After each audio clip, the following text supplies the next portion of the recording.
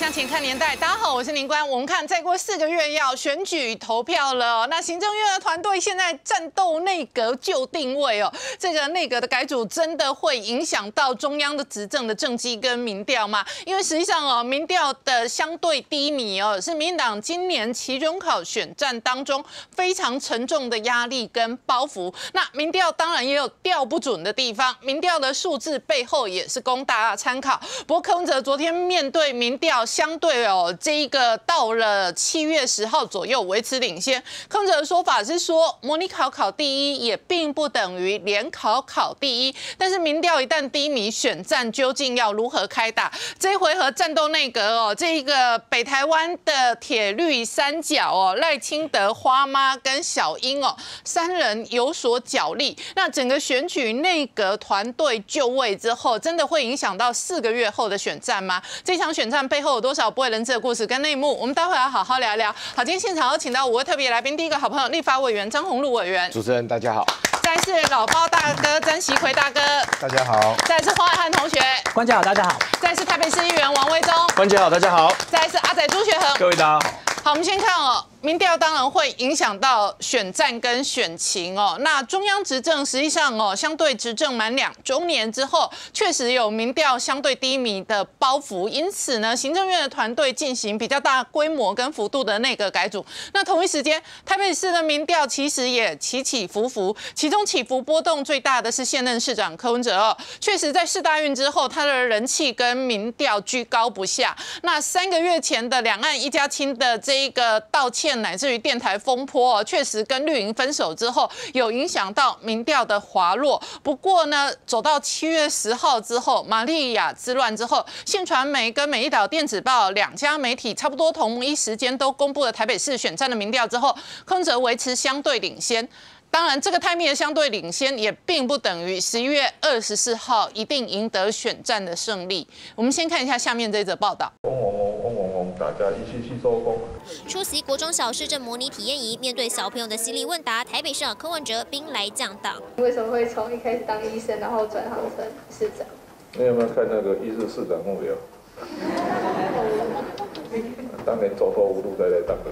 举手投足都能让台下笑声不断，柯文哲一派轻松，但一听到市政相关问题，顿时严肃起来。有没有想要恢复这一次的老人年金？我如果给你十亿。要叫你改善台北市的老人福利系统，你觉得一人花一千五这是最好的方法吗？你都摇头了，比你小学五六年级的水准就知道摇头了。可是我们的我们的老百姓都不知道了。柯文哲耐心解释，不过学生们的棘手问题可不止这些。市长想选总统吗？你晓不晓得明天会不会中风死掉？这叫什么意思？你在？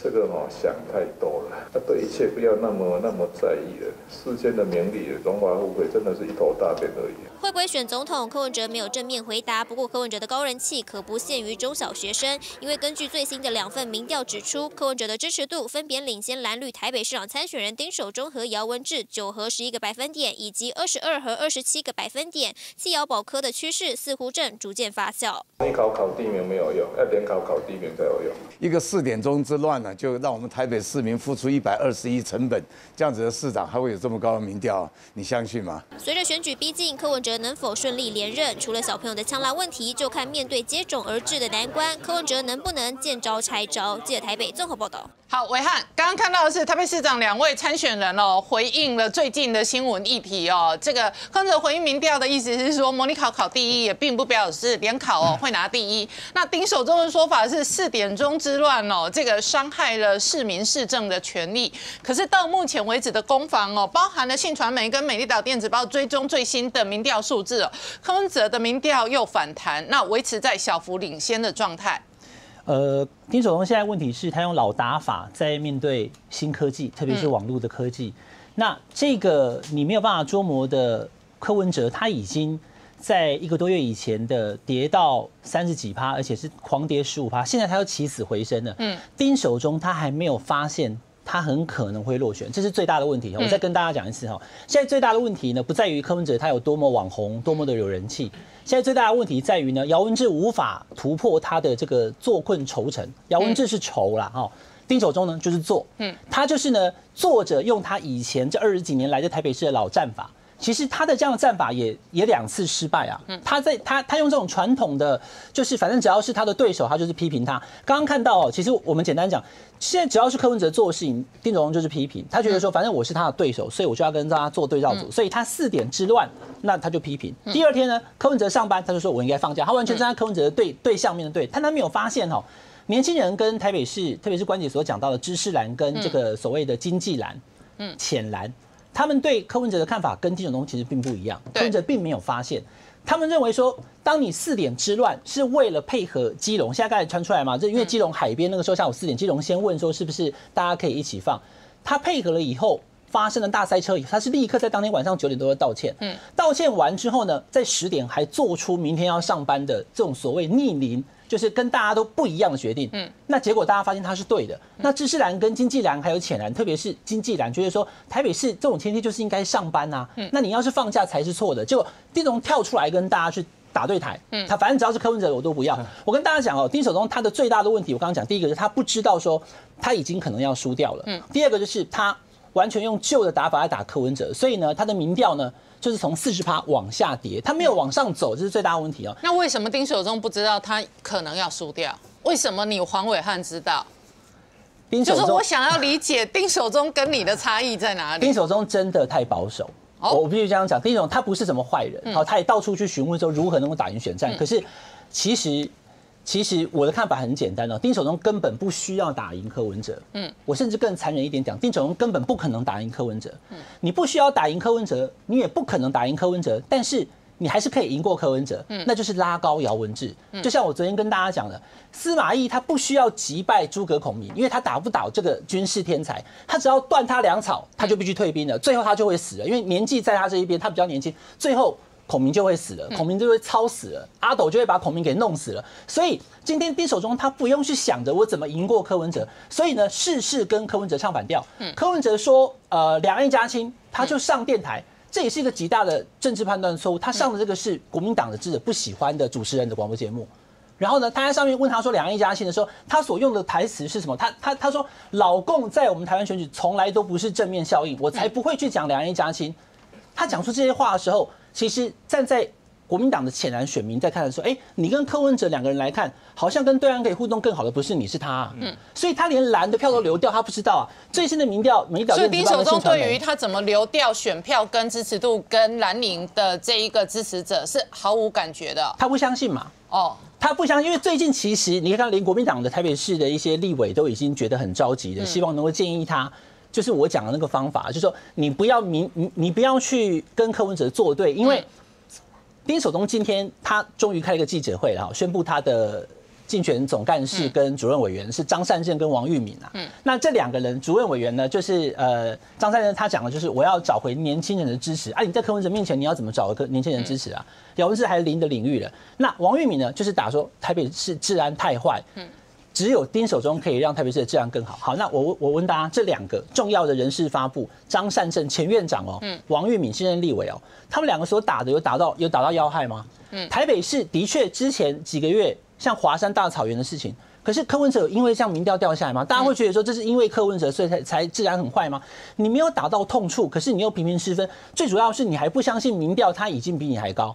你还不相信民调？你没有四十趴，你只有二十几到三十趴，所以这是丁守中最大的问题。那他不懂得怎么去把形势创造出一个对自己有利的形式。我刚刚在讲，就是因为他是萨卡都，所以他只需要有效的把姚文智给拉抬。其实，其实，其实我我再把它讲更实际一点哈，怎么做很简单。姚文智被提名当民进党的提名那一天，我是正式的国民党的台北市长参选人，我就正式发出邀请函，向威中。我请魏忠跟我一起辩论市政，好，松山机场也好，什么的，所有市政，那至少我们两个加在一起，媒体总会来个几家吧，不会说媒体都不来了吧？那我们两个讲的过程当中，柯文哲他反而会被我们挤压到媒体版面。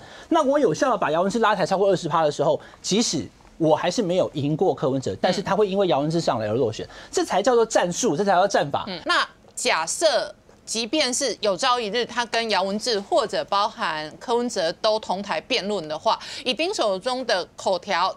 口才或者反应，你觉得这个选择这样的战略，它真的会加分吗？呃，现在这个状况哈，刚刚在讲，其实分第一阶段、第二阶段哈，就是期中考、期末考啊。现在是七月，那么从姚文智确定被提名到现在呢，前半年已经打完第一回合了，柯文哲赢了。嗯，好，因为姚文智第一个他上不来，好，我们就不要讨论太多，就是又在笑他不是咖，他真的没有办法突破二十趴的情况之下呢，他就无法拉下柯文哲。你无法拉下柯文哲，基本上你就无法影响选情，所以大家对你的讨论度就会越来越低。然后民进党市议员跟你就会越来越划清界限，这是呃姚文智的仇，好，就是坐困愁城，一筹莫展。但是 在这样的情况之下，其实柯文哲他的网络的影响力现在才刚要开始。我我跟大家讲，一日幕僚已经突破六百万了，还在往上冲的情况之下，后续还有蔡牙嘎的影片，还有很多他在网络上面的合作案，这些东西都牢牢的抓住年轻人。他所抓住的，其实我更害怕的还不是这一次选举。我看到那些小学生，因为我自己小孩就是台北市的小学生，三个小孩东门国小，全部都一致就是呼吁，就支持柯文哲。然后呢，然后就说不要姚文志。我说你们干嘛？他说因为姚文志每次都讲巴西队，一讲就就姚文志是反指标。我说你们是哪里？他说看新闻。所以我们家国小小孩都知道姚文志是一个失败者就对了。那这样的情况之下，柯文哲他的支持者来自这些国中小。可能是因为他之前宣布不用写寒暑假作业啊，不管，反正现在台北市的小学生对柯文哲是那种接近神一般的崇拜。但等到他们慢慢往上涨，几年以后有投票权了，那会是一个非常恐怖的一个势力。但你要看柯文哲能不能够撑过这几年，先连任这一次，然后之后的总统大选，他可能会。创创造一个非常让你难以想象的一个状况，而我刚刚所讲的丁守中最大的问题在于，我们分析了这么多次了，也把话讲得很白了，可是呢，呃，众人这个皆醉我独醒，他觉得你们都错了，我一定有四十五趴，民调都是假的，他不相信他可能输给柯文哲，是他目前最大的问题。好，我们广告之后回到节目现场。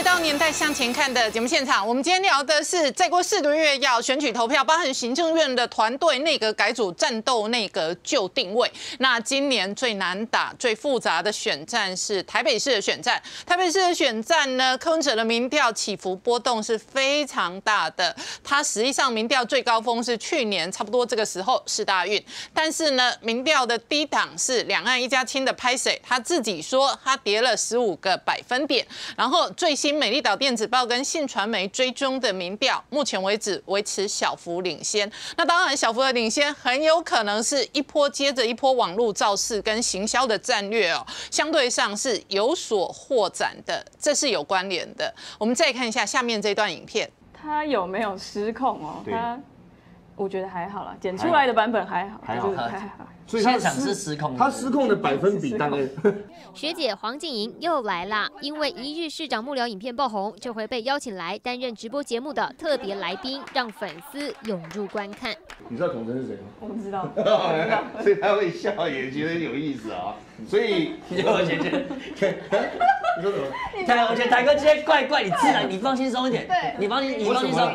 嗯我，OK 啊。你今天很奇怪，你今天你今天有点就是不自在。我跟你讲，看到喜欢的人都是会这样。他就就连艺人台志源都因为学姐来了好兴奋，底下直播留言网友跟着暴动，因为学姐的一抹微笑恋爱了。走在路上会被人家认出来，这样子。现在已经会被认出来。对啊，去买咖啡、坐搭捷运这类的都会被人家认出来，就问说：“哎，你是不是学姐？”因为一致幕僚影片累积超过六百万人次观看，学姐知名度瞬间升高。同事笑她说：“现在叫醒她的不是闹钟，而是脸书交友邀请。”真的，我的手机到现在还在响，但是。就是因为会有一些公司公事要做啦，所以交友讯息一直来，我的那个公司的讯息就会被洗掉，所以就觉得有一点困扰这样。大家都可以在节目中看到，其实我们有点亏待台哥，就是好像没有让他吃到东西，所以我们特地带了一些东西去，啊，也是围绕他们，感谢他们，呃，在这支影片上这么多的这个辛劳跟付出。你为什么只有关心学姐怎么回家，没有关心柯玉安怎么回家？哇，女生比较有比较有危险的，男生男生比较比较安全吧。虽然柯市长只是比较关心学姐，不是偏心，但这位正妹幕僚恐怕人气要超越老板了。记者蓝金发维轩台北采访到。好，老包大哥，你怎么观察空者的民调哦？在最新的信传媒跟美丽岛电子报的这一个相关的数字哦，维持小幅的领先，等于有点两家反弹。两家民调的格局很接近接近很类似了。那那就是我我的我我看法是，它几乎是那个电台事件之前哈、嗯的那个气势哦，有慢慢再回来了。嗯，哦，所以这这个这个这个格局大概就是这样。那我们我们今天不错，就一有有谈到另外两个候选人，就是柯，我们一向都是只谈柯文哲嘛。那另外两个候选人，我们会为什么我们会比较少谈呢？其实是有一个原因的。嗯，面貌模糊了，角色都不突出了，所以你很少有话题可以去扯上他们。那这这这个，也就是说，我常常在讲的这个鲶鱼效应里面，柯文哲就是那一只鲶鱼，那另外两个候选人就是沙丁鱼啊。嗯，沙丁鱼就是它比较没有活力，所以鲶鱼鲶鱼是非常有活力的，这相对哈，这这差距很大了哈。那当然，柯文哲就常常会，因为他是焦点人物，所以他常常也也会碰到一些难题，哦，也也会出错，也会也会干什么的。但是他他的那个自我修正能力相当的高，所以现在我们就说哦，可以可以感觉了，就是说他们在面貌模糊、角色不突出的这种状态之下，姚文智呢，基本上已经像那个《封神榜》里面有捆仙社、捆仙索，已经被捆住了啦。他没办法，他在挣扎就是这样的，就是越挣扎还是绑得越紧了。他已经很难再往上往上挑了。这个这个格局大概就是这样的啦。因为我我发现，因为我有看到一个就是信传媒，他有做一个民调哦，这个这个我就很惊讶，就是在深绿的大同区啊，嗯，他去问他说两岸一家亲，你同意不同意？他很高啊，他同意的很高啊，已经超过五成了。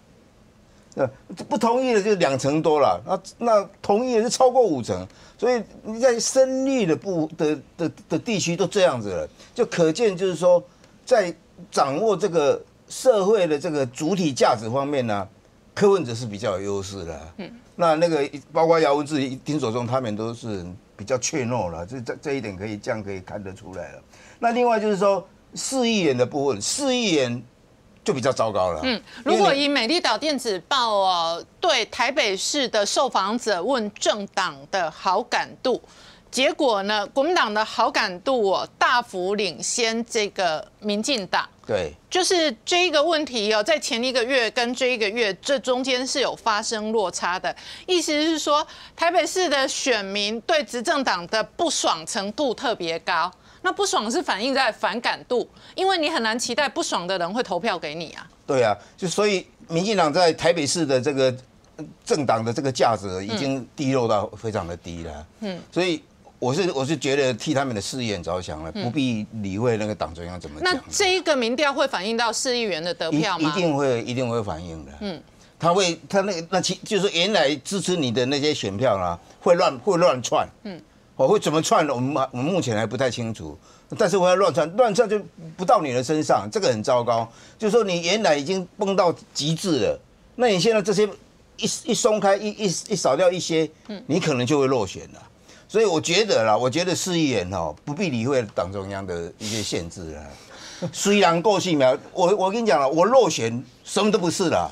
这个这个选举就是民主，现在台湾的台湾式的民主就是这样，选举只能选票就是你你一差一票落选也是落选。就是落选了，你说成者为王，败者为寇，嗯所以这样看很稀的了。你还理理他干什么？你自己有票，这是最重要的了。哦，那你现在他他现在，我现在讲他柯文哲已经已经位居了这样的一个位置的时候，以前在讲什么台湾价值去打他已经没有用了嘛？那台湾价值反而是他的是对的啊。你民进党你你们讲的绿色的那个台湾价值反而是不对的啊。那你这个时候你要选择去跟谁？哦，你包括什么母鸡母鸡效应，你写还有母母鸡效应，要要去跟那个姚文智他们要讲的，你看他们的试验有些讲的不太好听啊，又讲说什么就是小鸡在抬母鸡啊，而且是一只残废飞不起来的母鸡，这个讲的多难听，就是他们很失望很失落。那在这样的一个气氛之下，姚文智当然不可能挣脱嘛，嗯，哦，那所以整个格局来讲。我觉得他们应该要另觅出路了。嗯，哦，你纵使就有违规，跟跟柯文哲有什么被被讲有勾搭怎么样都没有关系的，这个就很系列了。那老八大哥，这个效应会外溢吗？会外溢啊，尤其新北市啊，我们就讲过，新北市的这个影响是最大的。新北市对柯文哲的支持，甚至于比台北市还强烈啊。对，哦，所以你你你这个你这个新北市这边，我觉得啦，就是候选人也是一样的。嗯，这哈你头恰牙牙了，虽然过性命了。嗯，哦，不必再理会党中央，党中央基本上你自己的民进党党中央，你基本上你们的领导自己就已经失去方向感了，你整个的领导都已经乱套了。嗯，啊，现在内阁改组没有好一点吗？内阁改组，我现在讲这个内阁改，内阁改组，它其实里面还发生了一件内乱的事情，就是茶壶里的风暴，就是管碧玲事件了。哦，我在风传媒看到的那个两三篇的报道，就讲到他那个事先赖清的是找找过管碧玲，两坡都找他，就第一次，哦，就找他，第二次又找他，但后来为什么没有上呢？结果他发现。就是陈举挡挡掉嘛，嗯，陈举去把那个管碧玲的人事案，硬是把它弄掉。那陈举为什么会把它弄掉？就是他那当时他写一个回忆录，就是在反反对谢，就是在报复谢系，在在报复这个管碧玲。所以我一直觉得就是说，陈举本来他这些怨气是留在是在高雄而已，他现在带到总统府来。他整个把负面能量也带到总统府来。你看他陈举一上到总统府来，有没有发生过什么好事？没有啦，就是第一个就是很果断的，就是跟柯文哲就切掉了啦，就分手。好，然后接下来就是你看管妈这这件事，你这个管妈这件事情，我就觉得就没有必要，就是说你你你陈举你你应该多带一些正能量。你是总统府秘书长，我们已经讲过，总统府秘书长是一个一个角色的扮演，就是你要调和顶来。你现在为为这个这个总统，为你的老板去营造更多的正能量啊，去营造更多的人脉关系啊，结果不是他是在帮他得罪人哦，所以这这个很很奇怪了。我我我就觉得陈启在这个时候，他有一点就是说他的角色一定要凌驾那个，他不不是说凌驾蔡蔡英文的，就一定要凌驾赖清德有这个味道了。我就感觉有有有点这个味道。那所以赖清德在这个这一波的那个改组，他好像是没，好像是都是被动的。因为他要了管闭点也没有啊，所以我在看这样的一个一个状况状况，它内部其实已经不太稳定了。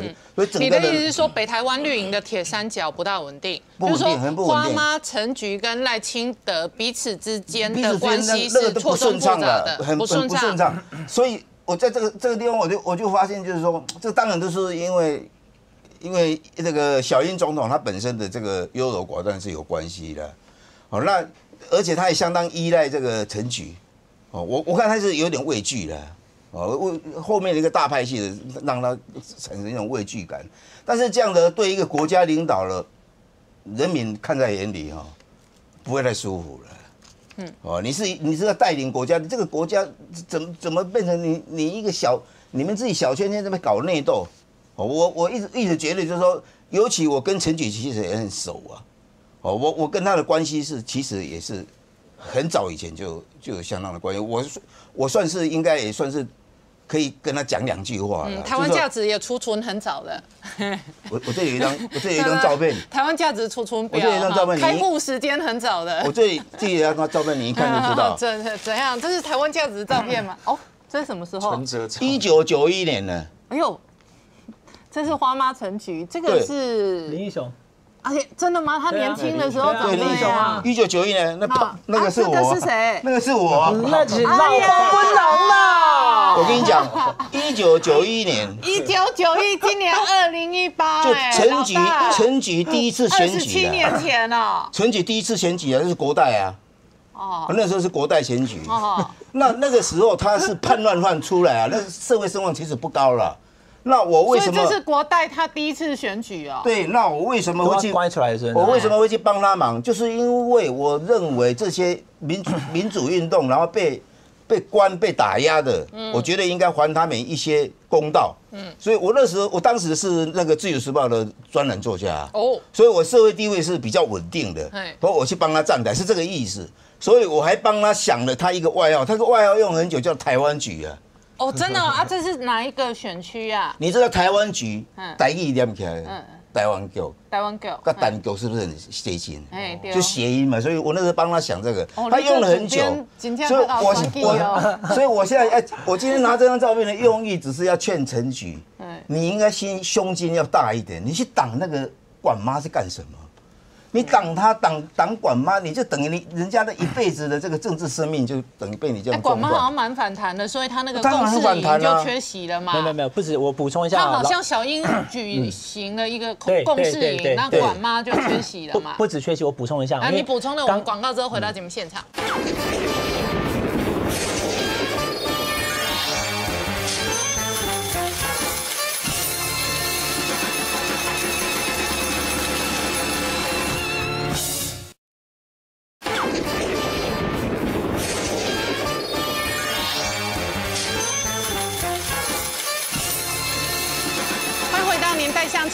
节目现场。我们今天看的是内阁改组就定位哦。那这一个选战的这一个战斗内阁要面对的是挑战哦。不过呢，民党内部确实也有压力跟矛盾。伟汉刚刚要补充这个管妈 管碧玲。对于没有办法顺利入阁，感到相当的失落。我觉得这已经不是失望而已，这已经内心有一种台语受伤怨恨了台台台有的赢啦，嗯就是一种怨恨了。那刚刚老婆大哥一讲，大家才茅塞顿开，原来嗯可能啦哈，原来可能是花妈菊姐把它挡掉的。嗯你要注意哦，也有可能是小英挡掉的、啊。对，但是问题是现在看起来好像是菊姐的这个可能性更高，因为 他们是有过节，哦因为管碧林是积极的、勇于认识、为自己辩护写的千字文，说我多么适合当教育部的部长。对哎，我是怎么样教育体系出身，我还是女博士，我是第一位，你们大家懂不懂？我以前就教书怎么样？哎，他讲了一堆，嗯结果呢，他已经这么的明显的表态，而且争取这个位置，最后结果没有。好，叶俊荣确定成为拔管高手，一来以后管碧林就被拔掉了哈，所以到底是谁？那如果是花妈菊姐，我跟大家报告啊，你要从各个脉络去看。昨天晚上，呃，红路在这里哦，嗯民进党立委有赖群组啦，大家都要有，像我以前带记者也要整个群群组，管他退群组了啦，党团直接退群组哦了，党团群组退掉了。直接退出去啊，门框五公斤啊 gay 啊真的？吗？啊，这是事实。等一下，党团一定党编指挥所有成员嘛，所以对会有党团群组。比方说，党团要甲级动员，或者要为政策辩护的时候会沟通嘛。就只限立委的立委身份的，只有才可以立委加入这身份个群组才能加入群组，对对就是阿萨布鲁或者助理或者什么都不行，都没有没有外人。对，那现在退了几个？退了管妈之后，还有退别人吗？没有了，没有了没有啦，没有。只有管妈一个人退那掉那。管妈一个人昨天晚上退群组哦。事实是如此，这是有怨，是有还很深，想让红路不好是动，很深的怨气的不是的，故意要为难红路，可是我讲的是事实嘛，是很深的怨气所以红路刚。刚也跟大家讲了，这好对张宏路委我们要给他鼓励一下，我要讲实话，因为没有退群组，一定有消息外流，不然黄伟汉怎么知道？那我就刚当记者不知道怎么会知道？当记者不知道就对不对？就拉惨了。没有我现在并黄伟不是汉并没有加入那个群组，但没是有我不是黄伟汉知道他退群组。现在我告诉你，我讲完全台湾都知道了啦，大家都知道，而且新闻媒体一定会报道。重点是我是要跟大家讲说，这代表管闭。有时候政治人物讲说，哎呀，我最讨厌王维忠了。可是其实晚上我要跟他吃牛排，我要帮他切的哈。那有时候讲是一回事，可是当你在这样子的私密的立法院，民进党立委刚讲只有立委可以加入的群组，你在里面讲退开，而且他有讲到为什么？他说我跟徐国勇在选区划分法理念不合。哎，他找了个理由，所以我退群组。哎，他以后带我们的，我们大家就是这个部分，我就没有办法配合党团。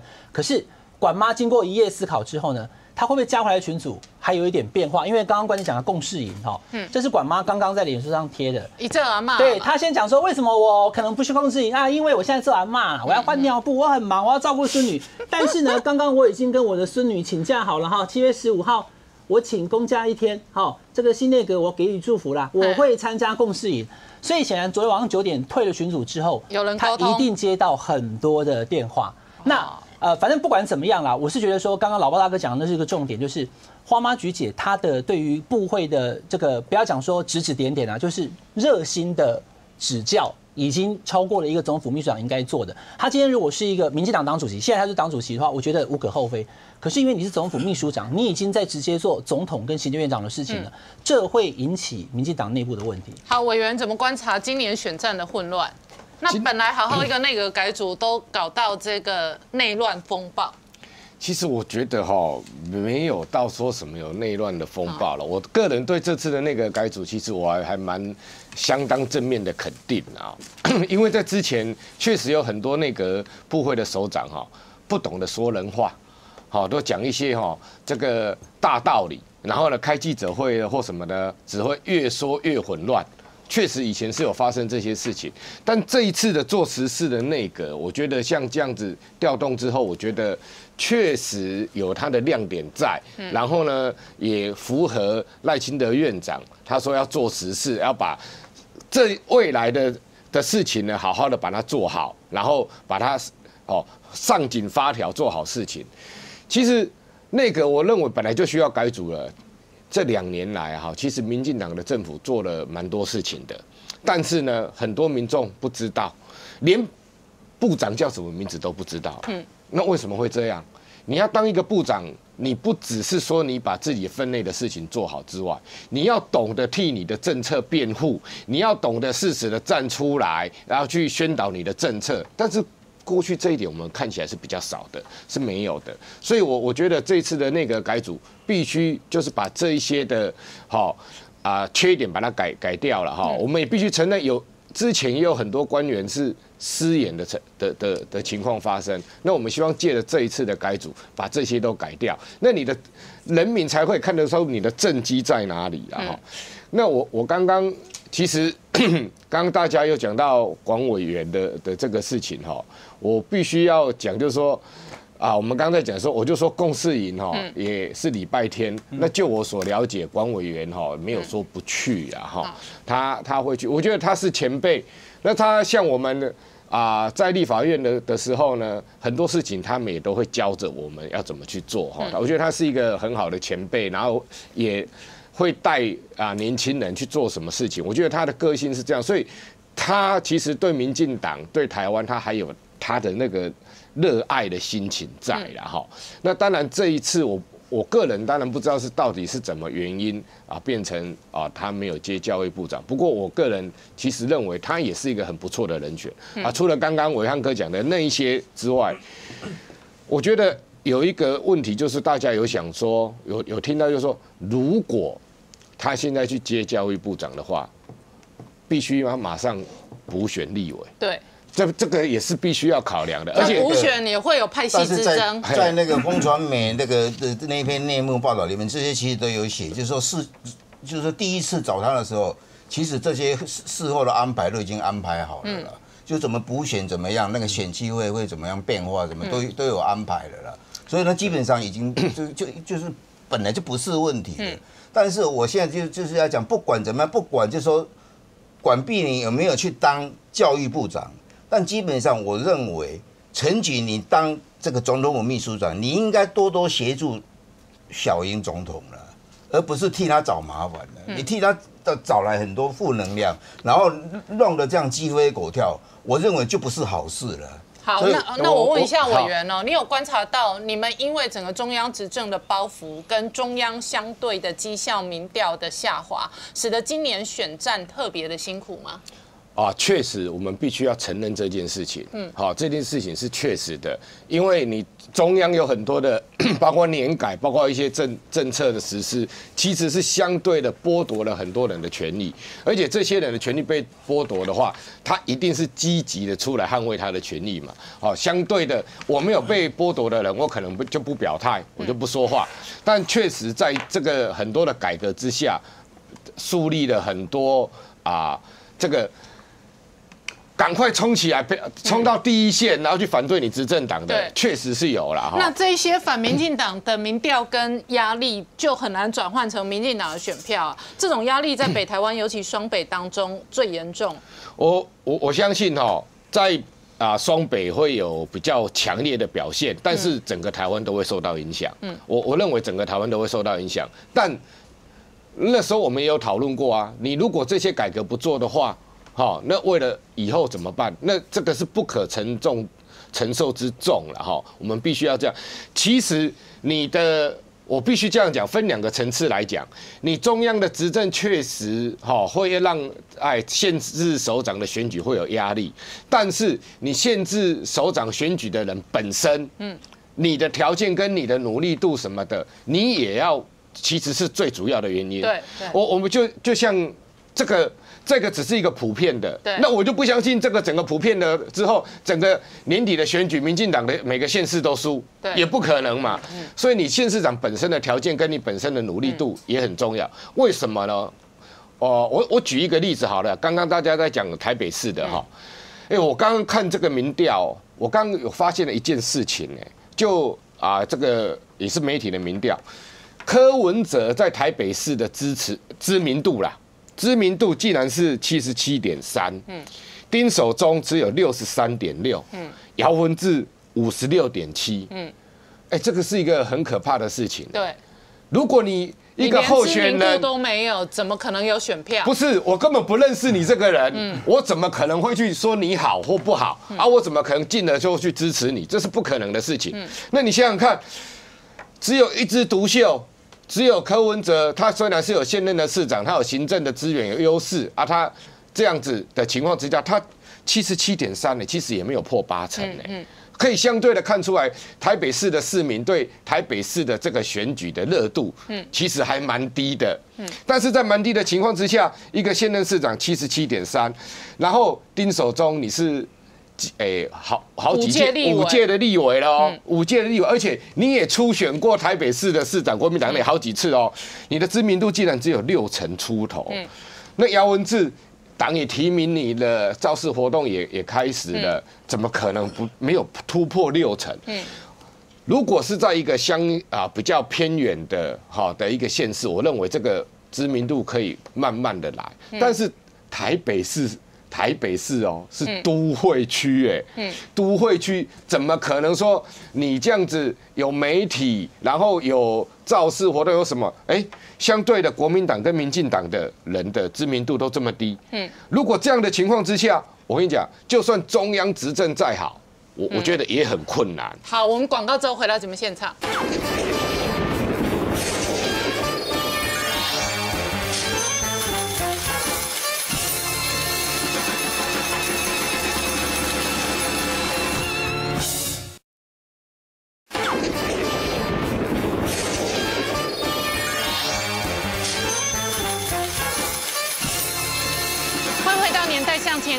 节目现场，我们今天聊的是台北市的选战，再过四个月要开打。那这一次哦，柯文哲民调在受伤十五趴之后再度反弹哦。魏中议员怎么观察？今年显然民进党的台北市长参选人民调仍然相对低迷。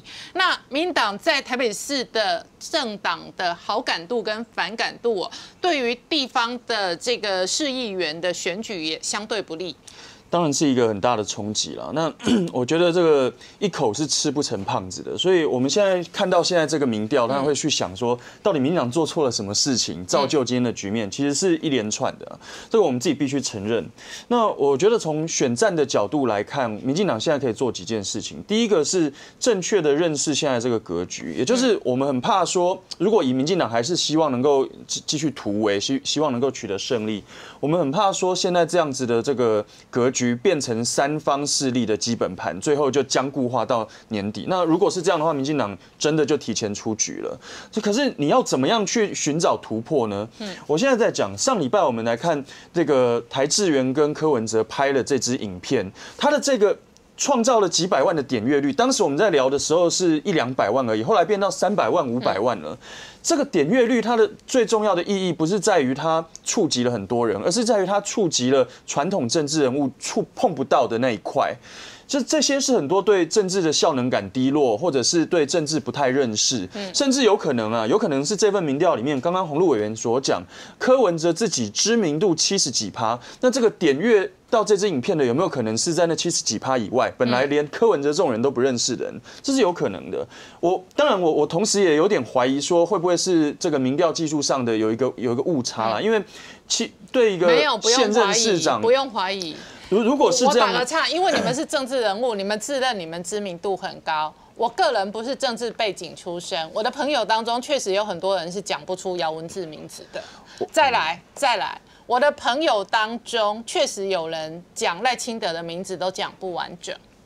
再来，我的朋友当中有人家里是剪掉 cable 电视台，不准小孩看电视的。所以无从认识。对呃所以这一类的小孩大概顶多认识总统啊，就是说他可能讲得出总统的名字。啊，我在直白讲，这一类的小孩，现在我知道的都念欧洲学校或者美国学校，然后这一类小孩他英文讲的比台语认得，台北市也有很多这种小孩。所以政治人物，尤其是候选人，要走出同温层啊。嗯那柯文哲如果真的只有七十几趴的话，我觉得这个讯息对民进党 是忧不是喜啊。嗯就是我我举个例子哦，那个跟洪路委员以前同个选区的民进党的市议员叫李婉玉啊，嗯。他在四年前或是更久以前，在选区的知名度叫做九成啊。嗯。那李婉玉为什么红？当然除了他很很努力勤跑基层，当然也是他有很越同温他很层，他有娱乐版呢、是是，那难道柯文哲在这方面他的整个量跟值有有比？呃对啊，是是是，那柯难道文哲是到了台资源这个版才跨到娱乐版，李婉玉是有政治版跟娱乐版两个不 No 同 no、no no no no，我认为柯文哲老早他就已经跨出了这一步，他也有跟很多网红或或是艺人有合作活动。但是如果如果是这样，柯文哲现在调民调出来才是七十几趴的话，代表这个人他还有一些成长的空间呢、嗯所以这个其实对对手来讲是。绝对不是好事。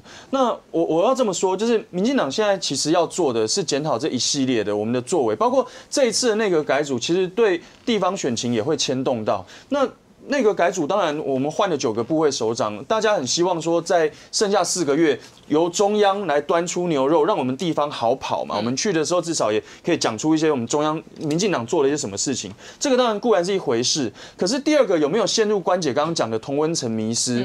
我这两天我有听到人家在批评说啊，你们这个内阁改组虽然是有改，但就是大风吹嘛，就是这个人从这里搬到那边。我我我不是在批评哪一位前辈，我是说一般民间有的人，他现在对民进党已经没有那么的信任的情况下，他看事情是这样看的，他觉得换汤不换药，你只是从左边搬到右边，真的能改革吗？甚至包括像这个叶叶俊荣，我我们为什么在说？呃，顾立雄他接任金管会主委的时候，带给一些人一些期待，就是我打破金融帮，打破这些银行的裙带关系，法律人来看金管，所以其实有很多人在期待说，那你比如说，呃，如果说这些部会首长你要打破过去文官垄断，打破重演日本的官僚之国这种情况，你是不是找一个 这种呃，比如说他是在立法院里面打滚几十年出来的，他一 过去他这他就是执行者的角度、监督者的角度，所以他很清楚文官在搞什么，不要再放任底下的人跟你用一个半套空屋法，没有老车法消灭老车的空屋法，或者是。这个检任文官出来讲说啊，用汤匙挖挖真奶，就是后来都都话都套到赖清德或是蔡英文的嘴嘴里面了。我觉得民进党现在要做的其实是这些有效的事情。我们希望这个不只是一个选举内阁，而是真的是解决问题内阁。那让我们地方上能够有一些牛肉能够出去跑，这样子来争取选票，比较不会缘木求鱼。好，阿仔怎么观察？没有，我们先从这一张民调来看哦。现现在台北市民党议员呃面临的危机真的很大。台北市以前蓝大于绿，但没有大到这么多。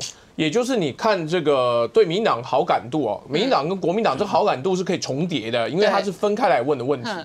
那你如果我们不要分区讲，我们今天就整个大范围里讲哦，整个台北市大概只有四分之一的人对民进党有好感度，嗯。各区的议员，不管你是两个、三个或者是四个，要抢四分之一。对，而国民党这一次算是保守提名，所以他可能两个、三个要强百分之三十七。嗯那在这个状况之下，实际上我们在扣掉重叠的数量，那可能比这更少。嗯那在这种模式之下，台北市的议员选群呐、以民进党来看，可能真的会非常不利，尤其是呃这个内阁改组没有改到大家身上，然后接下来的电价或者是电力不足，或者是空污法的议题是烧到切身，那那不是像我们这样讲好了，军改年改啊。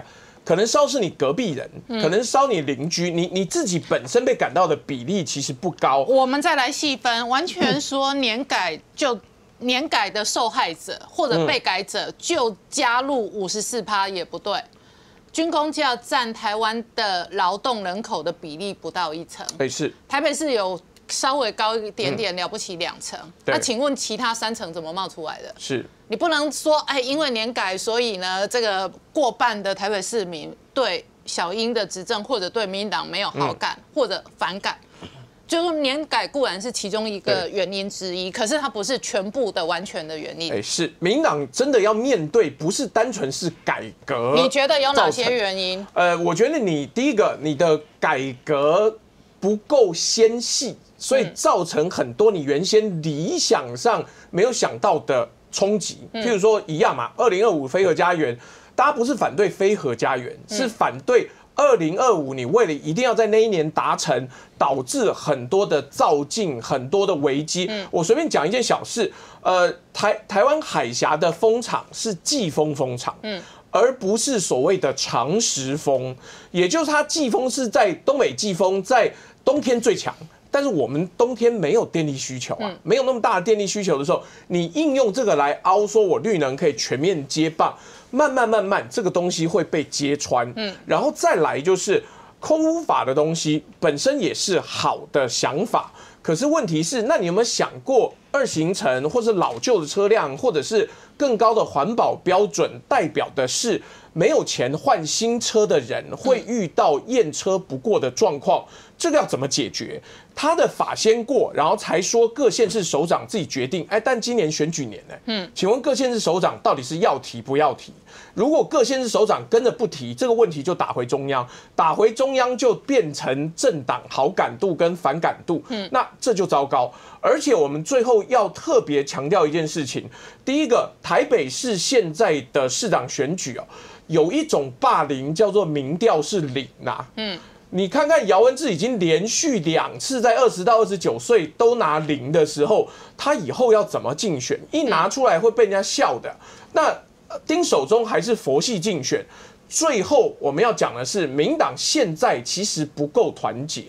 呃，管碧玲被放话出来，嗯，一定是有人要破他的局啊，就是。我上面有老板要找他，但我底下对找管碧玲不满，所以我丢出新闻，让他先被万箭穿心之后，然后选不了。那刚好侧翼支援菊姐要自己的人，或者是谁要叶俊荣？我觉得这样的状况是。台风都来了，结果你看到民党有一些人忙于内斗，或是忙于各自的派别，那这个台风如果真的很大很急，嗯，民党会受到重创。好，我们广告之后回到节目现场。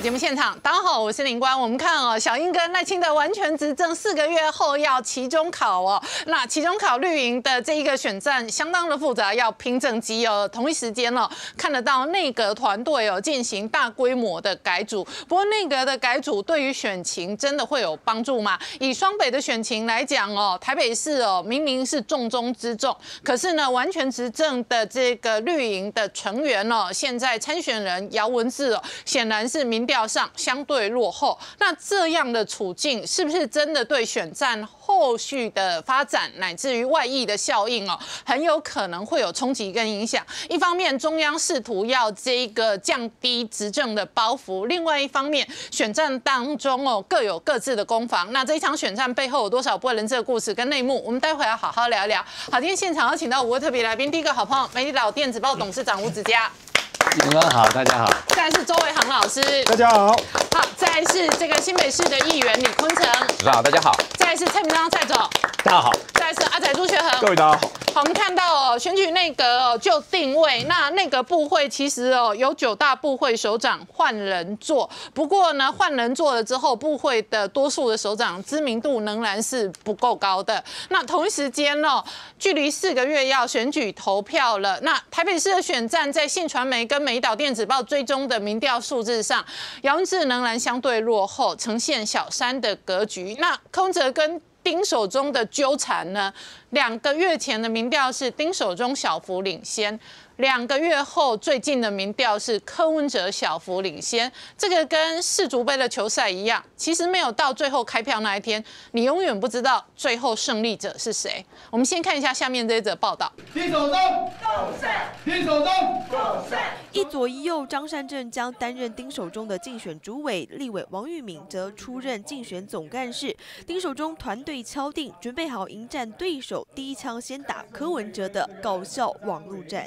能够把网络上所谓的网红哈，跟要执政当选这个呃市长这件事情啊画一个等号。如果真的是要拿网红来决定说要选谁当市长的话，那大家可以去提名馆长出来选市长。丁守中也有风趣幽默，呃，也曾经上国家剧院表演过国王，呃，也也会唱京戏。我是抱着佛心来选举啊，我是用地藏王菩萨的精神啊。希望能够改善台北市的这个市民的低薪跟穷忙。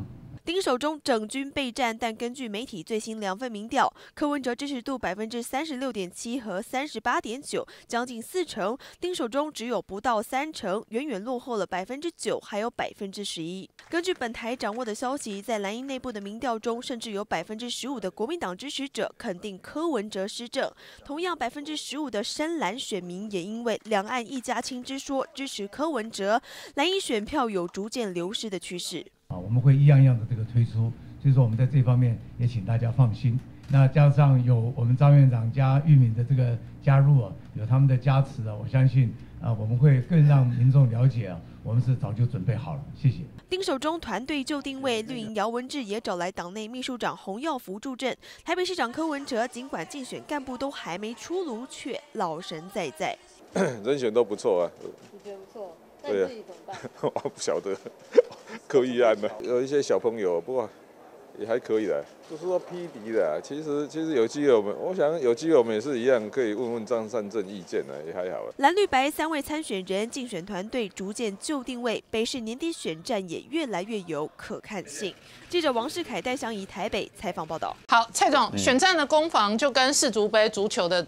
这个攻防一样，有得分，有失分，有攻击，有防守。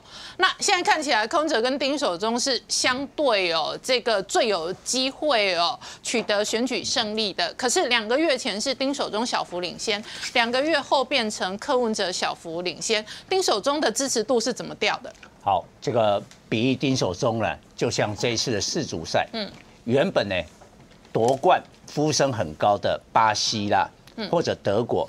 现在已经都被淘汰掉了。嗯，那丁守中啊，一开始三足鼎立的时候，他想到我蓝军大概就四成的选票，嗯，我只要守住这四成，然后姚文智冲起来两成，我大概就赢了。丁守中当时民调在前一阵子的领先是站在这个假设的基础，嗯，但是呢，我们知道选举是什么不断在变化。变化。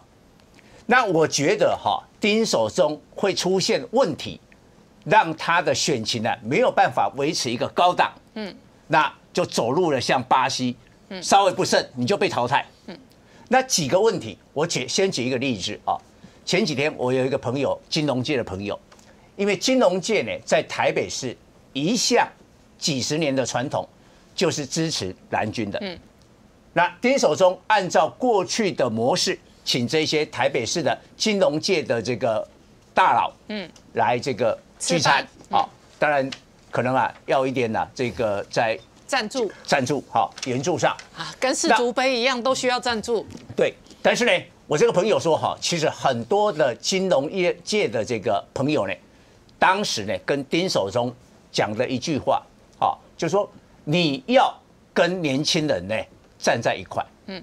那丁守中其实年纪呢，也你说多到没有，但是我们知道他有一个浓厚的一个包袱呢，就是学者，嗯，他没有办法像柯批把身段放下来。我我我认为哈，比如说五十岁、六十岁以上的人，你假如说要跟年轻人呐一起，不是说哎我们来参加一个活动哦，电竞好，那丁守中有啊，国民党也帮他说什么做那个呃斗牛啊，篮球的斗牛啊，啊他去啊，哎这个摸一下，我觉得这样不行。为什么？因为你假如没有办法跟年轻人讲同样的语言的话，嗯，至少至少你要听得懂他的语言。嗯，我觉得这个是接触年轻人啊，我自己也在调整当中。嗯，好，比如说有时候呃，我我我这个跟我自己的小孩，还有小孩的这个朋友，我们一起啊，这个拍个照。嗯，哎，我们那那个年代的人都是这样，就是站站站好。哎，现在都要做一点鬼脸。嗯，我觉得科批啊赢在这一点，就是说他跟年轻人会打成一片。嗯，也许你很不屑，哇，这个网红这样装疯卖傻，但是我告诉你，这个就是现实。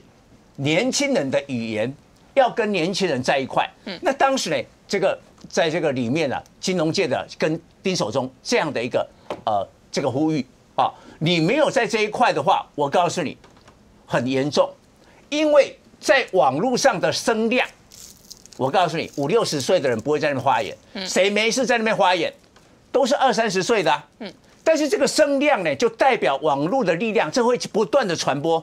嗯，我们现在这个舆论啊，媒体的这个管道已经跟过去不一样，不是电视，更不是报纸。而是在网络，嗯，当然你会网网络，网络就是那些年轻人，他们真的有选票吗？嗯，但是我告诉你，它会形成一个什么声势？这个好比股票，你刚开始的时候没有把这个价量啊给声势给做起来，你后面要维持啊一个巅峰的状态就很难。我觉得好，第一手中第一个大的问题就是说，他还是没有办法把他的身段放下来，你不能只有装年轻。偶尔参加一个年轻人的活动，你就觉得你跟年轻人讲同样的语言，但是我告诉你，你实际上还连他的语言都听不懂。我觉得这个很重要一点，光这个地方输科批，根本看不到科批的车尾灯，所以难怪你现在的这个声势呢下滑。再过很重要的一个议题哦，为什么他人家想说活系的选举，活系就就坐坐在那个地方吃斋念佛敲敲这个木鱼，不是。重大的议题要表态，嗯，要表态，因为你不表态的话，大家不晓得你的态度，对不对？当然你不要担心，表态了以后一定有得有失，对不对？良心议题你要表态啊，嗯，台风假这个问题你要很坚决的回表态啊，我觉得他的那个攻击力都不足，嗯，所以重大的议题你没有去表态的话，大家对你这个产品有什么认识？iPhone 到底好用在哪个地方？三星的 Android 手机什么地方好用？它有什么特别的功能？哎，你以为大家都知道？你要出来讲啊啊！我用这个 iPhone 哈，我照相啊，照得很漂亮，对不对？嗯，好。所以，所以丁守中这个品牌其实原本是一个很不错的品牌，但是你没有针对重大的议题来表态的时候，包括现在最新的内阁改组，你也不表态。你也不发表意见，对不对？我出来啊，我跟你讲啊，颜色不对，这个要走人。财政部长许一哲，对不对？其实他这个财政我我税收做得很好，那你要讲啊，朝中有人好做官呐。现在交通部长就吴鸿谋啊，都靠一个陈局就进来了，对不对？以后我当台北市长，我里面不会这种啊，朝中有人呐好做官，不会发生。好。我不会死马当活马医啊，找不到人当教育部长，没有办法去把管的时候找一个岳俊龙，我不会做这种情况。好，我也不会用发言人是一夫当关万夫莫敌的。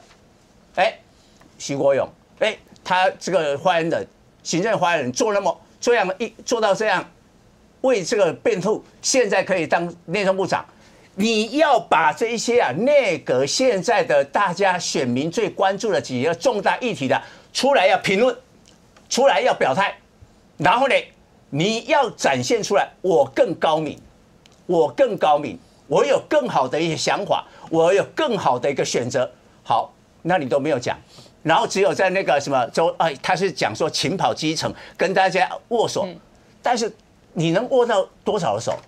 对，握了手也不见得每一票都要投给你，你要透过媒体，透过呃你的这个呃竞选的活动。把这些重大的议题的话呢，加加以评论跟表态。所以从现在的三个主要候选人的战略跟发展，你的观察是柯文哲很有可能持续领先下去吗？不，丁守中看他，我们刚我刚才讲那些，他还是听还是不想改的话，那就输了嘛。哦，好。假如他愿意改变，做重大的改变，从现在每天出来重大的议题都跟你表态的话，其实他还有机会了。好，我们广告之后回到节目现场。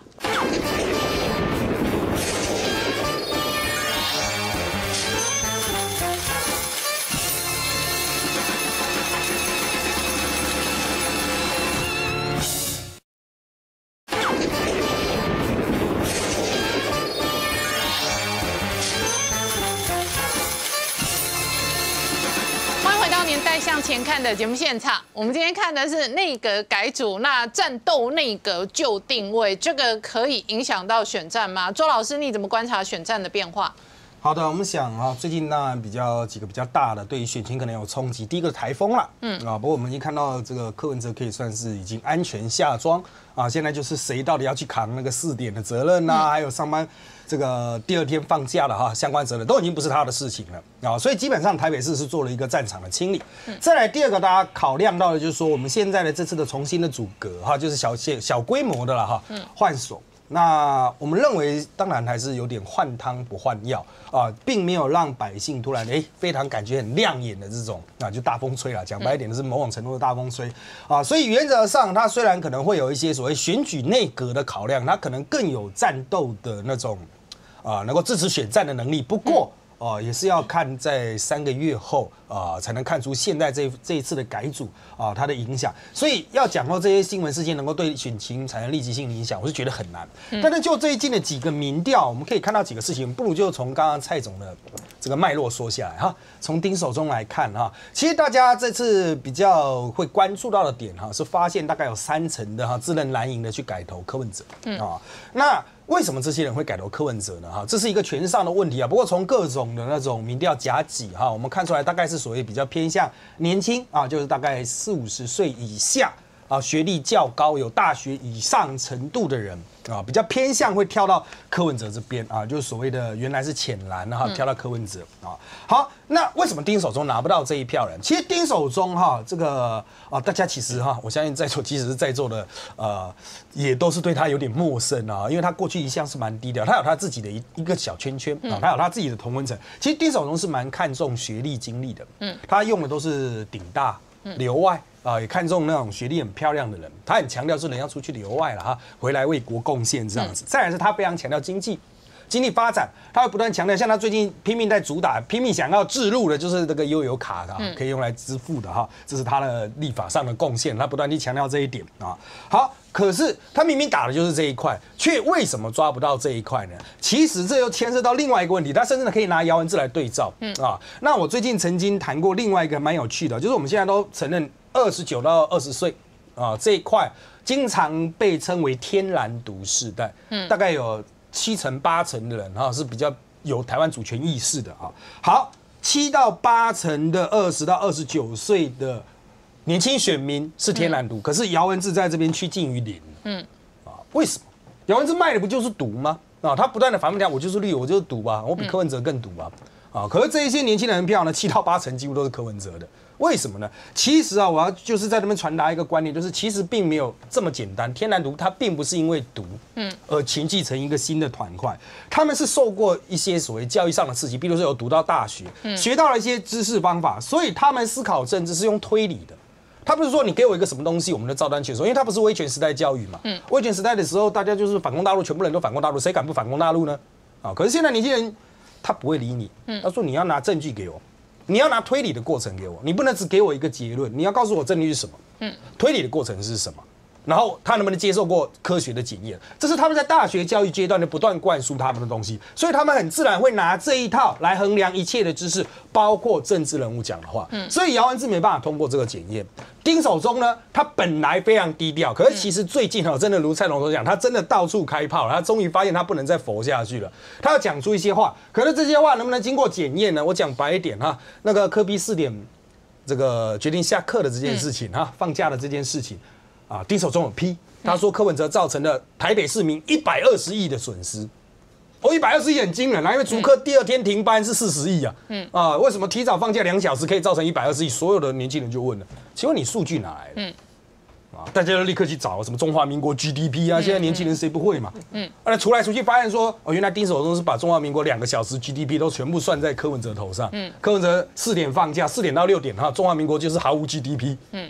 啊，除非是这样的解释，否则你丁守中一百二十一是怎么跑出来的呢？好，拉回来，我们现在谈的，其实丁守中他会在过去的日子里，他可能会觉得说啊，我在立院嘛，我谈国政嘛，他比较不会接受到这么详实的检验。可是你现在下来谈市政，市政是柯文哲比较熟的这一块，也是百姓可以去很容易找到资讯，因为开放资讯做的不错啊，就是台北市政哈，各方面的数据资料都非常好抓。所以当丁守中尝试要去打某些点的时候，人家立刻会去抓。就像文大宿舍案，丁守中说：“我上台就地合法。”嗯。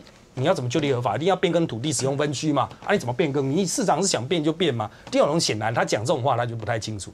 不太清楚台北市政的基本运作，那不是你市长市长爽怎么样就怎么样，他需要专家审议的啊，要慢慢的开啊，最后才是合可。所以这种事情就会慢慢的在年轻人心中去形塑出来。你原来很佛的选法就算了，如果你今天跳出来不断的乱讲话了，我觉得啦，基本上都会对丁守中是一个大扣分。那他应该怎么去改善呢？其实只有一个方法，就是真的把所有的资金用来延请专家学者，去拟定一套真正啊。有说服力的，像白皮书啦或经济政策，你既然是想要主打经济选民这一块，特别是四十到五十岁，现在是最激战的一块，就是科批在跟他互相抢的。四四十到五十岁啊，这个学历是大学以上，甚至到博硕士，然后在社会上有所成就，小孩慢慢已经长大了，可能读到高中啊，国中、高中，那针对这一块选民去设计一套政策，然后不断的强强打。啊，去形塑出，哎，我是真的为你这些人在考量。我觉得第一有机会拉到这些选民的票，就是现在最激战的这一块。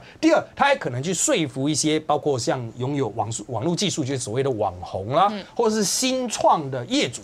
啊，这个是丁荣过去有在经营的这一块，只是大家不太知道而已。嗯，啊，他如果能够拉到这一些啊操纵新媒体比较擅长的人的话，我觉得有机会在现在一路溃败的网络战场上稍微站稳脚步，嗯，尝试做反击。那他今天这个宣布拉两个人进他的团队，一个是张善政，一个是王玉敏。嗯，王玉敏是国民党不分区立委的出身，那这两个人可以补足他选战的团队的缺点吗？呃，我必须要讲哈，这两位要么一位是这个。儿府专家，一位就是这个原来的啊院长哈，代院长。那原则上来说，还是都是属于比较偏向执行面的哈，就是在选战经验上是比较不足的。嗯，其实丁守中他因为自己觉得自己选了非常多届，嗯啊，所以他觉得自己是选战专家，所以他现在需要是政策专家。但实际上，除了一些专门的政策专家之外，我认为他在选战专家这一边哈，他其实还需要延请更多的人力。但是。这个我觉得他可能也会想到上一次连胜文找蔡正元的这个经验，可能会有一些不愉快的回忆，会刺激他。蔡正元昨天在脸书上说台北市的选战成定局。哎，对对对。嗯，那蔡正元的脸书下面有一一大堆留言跟讨论。嗯。但是蔡正元昨天看到民调之后，他认为台北市的选战格局已定。已定。对。蔡正元现在的意见跟现场吴子嘉董事长最雷同。但我蛮惊讶蔡正元的脸书这样写，嗯，我曾经是他的被告。好好好，对，那 终于站在一起。我蛮惊讶，在这件事情上，他跟你的意见是一致的。你怎么观察选战的变化？那昨天还有一个很妙的新闻呢。昨天我手上这份联合报，这是联合报，这不是自由时报啊。这是再看一下，这是联合晚报。好，这是联合报系的联合晚报。晚报现在销售量其实并不好，但是有一大篇林佳龙的这个访谈。然后，呃，还有登到联合新闻网。林佳龙说，民党如果双北都输的话，是骨牌效应，而非中百。为什么昨天台北市民调出来的同时，林佳龙的意见跟访谈就出来了？林佳龙哈，不愧是政治学博士，他是这个耶鲁的政治学博士，然后政治学的教授，嗯，呃，民调专家，嗯。啊，那而他一直立志要选中华民国未来的总统。嗯，他这个这个论述里面啊，非常的正确而经典。哦，他叫做是骨牌，而不是这个什么中摆。中摆。好，怎么定义骨牌跟中摆？骨牌跟中摆是什么意思呢？中摆就是说我今天执政的长时间执政之后。然后呢，这个民众对执政党产生的厌倦以后，他会自然会倾向于要换党做做看，这个叫做中摆效应。好，好，这是第一个。他认为现在不是这个现象，就是民众对这个要换长做做看这个事情呢，还没有那么大的企图心。哦，这第一点啊，这是他讲。他他讲骨牌，那骨牌就很严重喽。好，骨牌就非常严重了。骨牌是指导双北吗？当然不是双北，他讲的不是双北，他讲的也不是台中，台中会赢。哦，他认为台中也不是不可能再赢二十万票哦。这个专访我全部看完。哦，很乐观哦，台中选情这么乐观哦。呃，他认为他不是不可能的哈，我等一下讲不乐观的理由了哈。但先讲他的骨牌是什么东西？他讲的骨牌是二零二零的骨牌哦。总统的选举会有骨牌效应，他总统会败选。你要注意，它的概念是这个概念。它唱衰小英啊？不，就是骨牌，这个骨牌推下来之后，直接影响的是全面性的溃败，一直到二零二零嘛。小英目前为止还是他老板吧？呃，老板是一回事，这样我们也不断的提醒，我身为民进党员，不断提醒民进党会有败选的可能性嘛。这个就是说。这个就是说，事先的一个警告比事后的哀悼要好很多嘛，对不对？我们现在事先不断的警告，不断的警告，好，这还是发自于这个这个还是发自于善心跟爱心的啊，所以我要这样强调。所以林佳龙讲这个是对的，这是骨牌效应。为什么是骨牌？他已经看到了，他也做了民调，嗯，他知道台北市大概已经。没指望了，是不是？已经结束了，game over。他讲 game over。呃，没有，他不是讲台北，他讲双北。他讲他讲双北。那他认为说，如果双北，等一下昆城议员会来再补充一下在新北市的一些的情况啊。但我不认为说我们新民进党新北市必败，我不认为，我不认为。首先第二，新北市还有一搏的机会，但是台北市大概已经确定了嘛啊。从昨天的民调看起来，就是说台北市的候选人，民进党候选人姚文智大概确定他的小三地位，嗯，这个不会有任何的变动了吧？我们也看到了，现在你这个这个 LED 看板上面看到的国民党的好感度高于民进党的好感度将近十二个百分点，这表示说，呃，民进党的议员也非常的危险嗯。所以这就是目前台北市的败局了。那这个弥漫、这个败、失败的气氛，如果一直弥漫全台的情况之下，当然形成骨牌效应了。这就是所谓的失败的这个科批的外溢效应嘛。但也也一定程度会影响到台中市的。嗯，我想这个是一个大概的一个趋势了啊。那现在来讲的话，就是说。民进党在台北市大概我们刚才谈过的已经结束了嘛啊？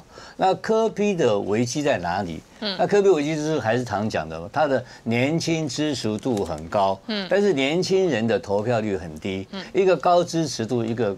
一个低投票率会形成它的一个风险，但您刚刚提到一个很重要的问题，就是说知识蓝跟这个经济蓝，嗯，其实这两个不只是蓝，还有绿啊，绿比较少啦，没有绿也有知识绿跟经济绿，对，因为绿的绿的基础在台北市来讲的话，一般是属于比较底层的基础，但是也有高层的啦，所以你看到柯文哲在这个高知识分子这一块啊的支持度第一名。对，拿到非常多，所以空着吃了知识蓝跟知识绿。为什么？嗯，为什么？我们要来看呢？哈，我们来把这个所谓的政治领袖啊，我把它分成大概三大类来分析的。一个叫做魅力型领袖，嗯，那像柯文哲就是魅力型领袖，就 charismatic leader，他是非常有魅力的。然后阿扁是魅力型领袖，啊，这个李登辉也是了啊。那我们。魅力比较差的就是蔡总统，魅力比较差一点的，有魅力型领袖，这是一大类。第二大类是属于思想跟路线型的领袖。那思想跟路线型的领袖，像陈水扁搞一边一国，啊，然后这个马英九搞两搞搞两岸，啊，搞中华民国，这是路线，这是思想性路线。那这个李登辉搞的是叫做呃明统暗独，嗯，啊，这也是一种路线。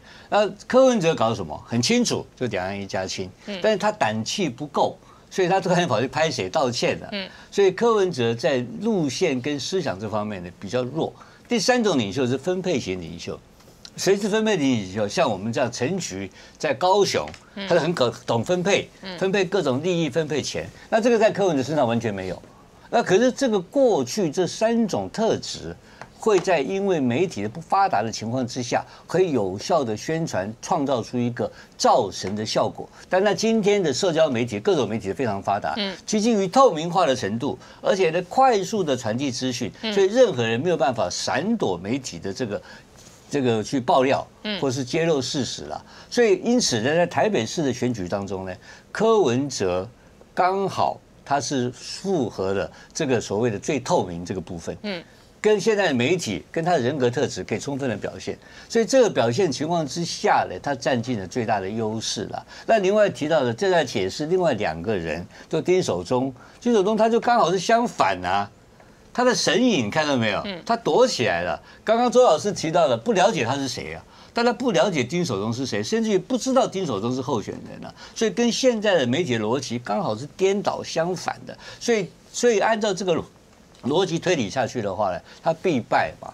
那这个姚文智来讲的话呢，那不用提嘛，他不没有到领袖的格局。所以也就是说，我们在选举的时候，这个台北市选举选择什么东西？选择人格特质。嗯，刚刚讲的三种特质。好，那这个领袖的选举，为什么林佳龙说有骨牌效应？我们广告之后回到节目现场。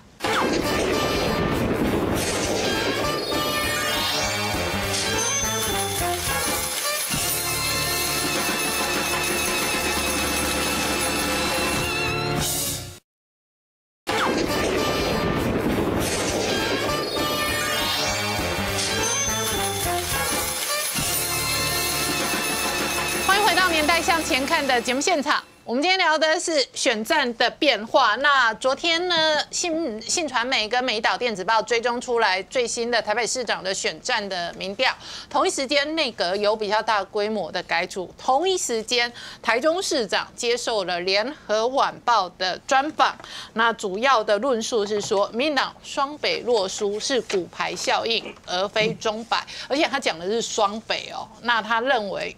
预测的很有可能是输，而且他看到了骨牌效应。那刚刚子佳董事长讲到，实际上大规模的选举，尤其是市长级以上的，都要有领袖的个人人格特质跟个人的魅力，才能够在这个区域的大规模选战当中脱颖而出。所以人本身就是产品。对，嗯，那这这里面呢，柯文哲有一个呃。呃，赢呃，超过全台湾每一个政治领袖的一个特质，嗯，因为他不会说谎，嗯，白目，啊，那第二个比较接近于他的呢，就是赖清德，嗯，其他的人呢？都喜欢说谎，麻烦的事情在这里。所以这是人格特质。人格特质里面，这个柯文哲不会说谎，他北爸爸哈，这阿北不说谎，就是很简单，他是什么都透明，他可以认错，他可以道歉啊，他也可以直接去干一些你不敢干的事情嘛，就是人格特质啊。那这个特质在他身上是。绝是唯一的，是绝无仅有的，所以这是他的独特的优势啦。嗯，那他靠这个人格特质，可以有五六百万的年轻人的点击率等等，把他自己的本性表露出来。所以这个优势呢，让他占尽了便宜。在这个优势情况之下呢，他也赞成了台湾一定程度、一定程度的在选举的典范效应。所以你看了很多人不太敢花大钱去选举了。还有一个，他还有一个特质哦，柯文哲有一个非常大的特质，他的得失心很低。嗯。他就是我花两千万去抵押贷款，嗯，两千万花完了，输赢无所谓，嗯，为什么？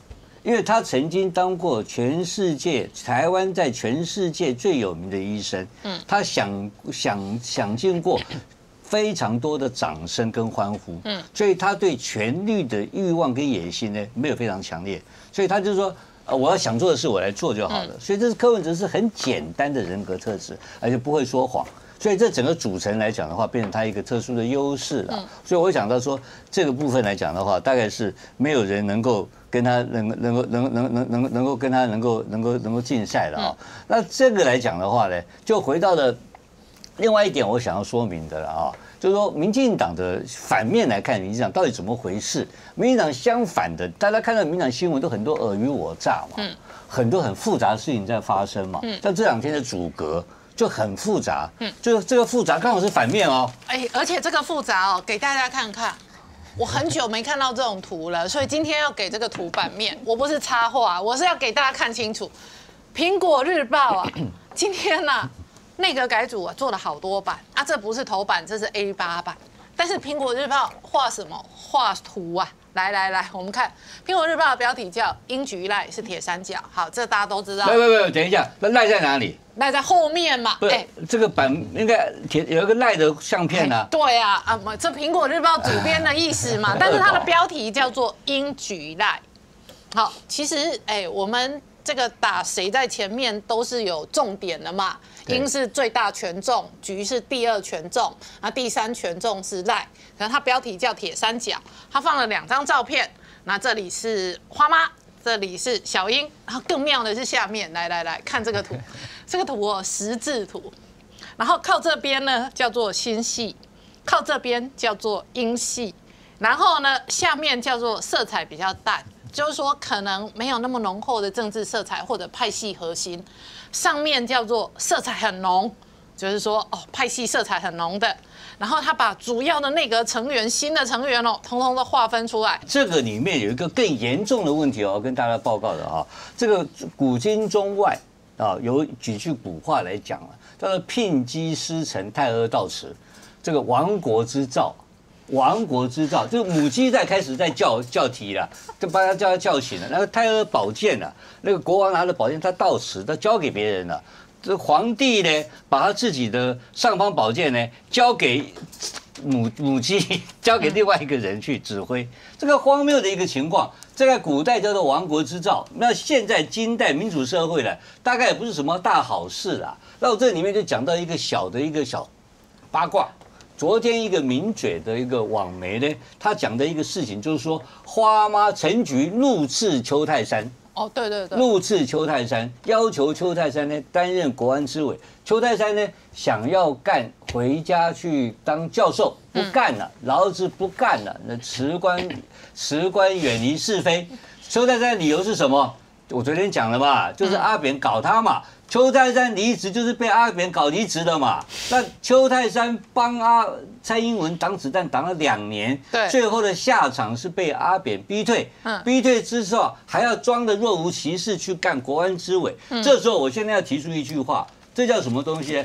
这个，然后邱泰山今天讲什么话？说是花妈菊姐勾勾敌啦，他还没有同意。嗯，这时候我要提出个评论，我要告诉泰山，士大夫无私交啦。知识分子要有风骨，快点跟我离职回家当教授。然后这里面有一个问题更严重的，我现在讲出来一个事情：怎么会有一个网媒把这个菊姐在私下协调的事情透露出来，而怒斥邱泰山？这是干什么呢？他要突出陈菊在整个政府里面的重要性。但我现在回到。邱泰山去帮小英去挡阿扁这个事情，挡了两年，很辛苦嘛，被骂的臭头，然后现在还要逼他吞下来去干国安之委，这个太残忍了嘛。这只是显现出来陈局的权威感而已了。那陈局在这里面有什么角色？总统府秘秘书长啊，秘书长来讲的话，是以前叫做内臣供奉，是在管管管宫廷里面的厨房仓库的事情了，怎么突然间管这个事情出来了？所以这个朝纲大乱。这个国以鬼大乱，完全乱无章法。这种政府怎么可能会打赢年底的选战？所以我呼应这个林佳龙的讲法，这是骨牌的另外一个大骨牌效应哦。然后这里面呢，当然我这边要补充一点，许信良主席跟我都主张特赦阿扁，我也主张特赦阿扁。只要阿扁认错啊，认罪。啊，阿扁认错认，这是大部分的，因为一个国家的元首被关了好几年牢，差不多的啦。适当的惩罚，为什么？我们要维护到国一个国家应该有的尊严，跟国民应该有的团结。所以，但是阿扁不认错。所以我刚才讲，我讲说，你两天前录影，你在对着镜头说 阿扁不要笑想小英，我大赦他。对，但是我个人，但是你个人赞成，对，这是两件事不一样。就是那，所以我再把它讲清楚一点。你研判小英不会特色，这是你研判，不会。但是你个人赞成研判。我阿扁还有预告，七月十五号周末要开全代会了，他可能会好好开开哦。我认为我鼓励阿扁去参加全代会，因为他本身现在是中，他是终身党代表，啊本身应该去的。这个本来就是。这个蔡英文要面对的问题啊，你一直拖延不处理的话，就变成一个问题啊。你要跟陈水扁谈判嘛，陈水扁要的事情就是一个承诺，你要跟陈水扁讲清楚，说你认罪认错，我就给你特赦嘛。然后我下个任期给你特赦，我现在选举嘛，啊，因为他现在给阿扁特赦的话，蔡英文就倒了嘛，连任就一定失败嘛。所以我们你觉得影响有这么大？百百分之一百的中间选民跑光光了，这个东西，因为选总统是要靠中间选民嘛。对。他现在那现在蔡英文只剩下二十五、二十五到二十八。在台北市啊，选总统也有全国别的蔡英文的满意度也只剩下二十五到二十六左右。对不对？他的政党满意度也只剩二十五、二十六，只剩基本盘嘛。所以他要打到二零二零要胜利的话，必须要中间选民出来嘛。所以他现在的布局就是陈局在扮演一个不应该扮演的角色，要触动一个蔡赖配出来嘛。所以这个是一个很坏的一个征兆嘛。因为蔡赖配现在才内阁改组，你就跳到蔡赖配。不，他这个布局就是让陈局突出以后，会逼到赖清德，赖清德已经弱化了嘛。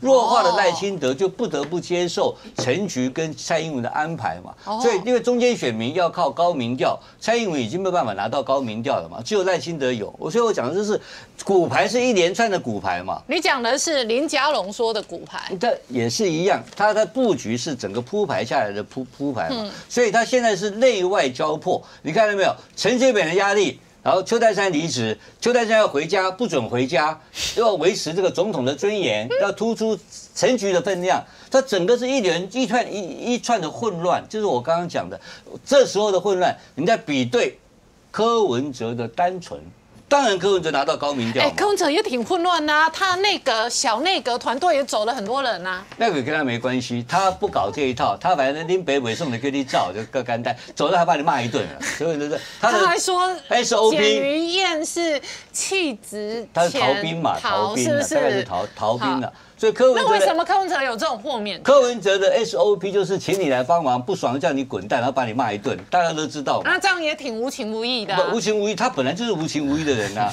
所以他不会分配啊，他没有分配过。你们看到有任何人在柯文哲身上搞到钱吗？一个一个人都没有啊。但是你们看到很多人在蔡英文跟在这个政府里面东搞西搞的事情有没有呢？有啊。